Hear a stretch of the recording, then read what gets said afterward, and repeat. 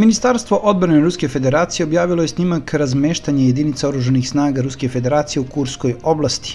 Kako se navodi, u pitanju su jedinice koje su upućene kao pojačanje i poslužiće za formiranje snaga za aktivno borbeno dejstvo protiv ukrajinskih formacija u Suđanskom okrugu Kurske oblasti, Na snimku se može vidjeti da se u kolonama nalaze višecevni raketni sistemi BM-21 grad, vučna artilerijska oruđa, tenkovi i samohodne haubice koje se prevoze na šleperima, uralovi i kamazovi, kamioni za transport trupa.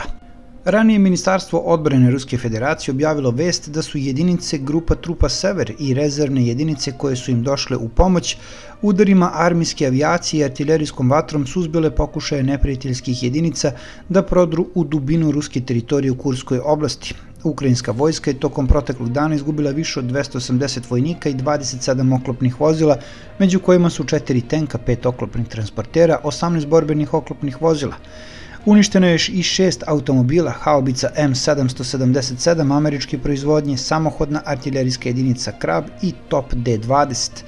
A od početka sukoba u Kurskoj oblasti Ukrajinci su izgubili do 945 vojnika i 102 oklopna vozila, uključujući 12 tenkova, 17 oklopnih transportera, 6 borbenih vozila pešadije, 67 borbenih oklopnih vozila kao i 12 automobila, dva sistema PVO Buk M1 i tri poljska artiljerijska topa.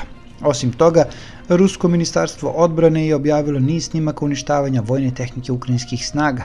Među opremom koju su uništili operateri bespilotnih letelica Lancet nalaze se američki Bradley, Strikeri, nemački Marderi i druga vozila oruženih snaga Ukrajine.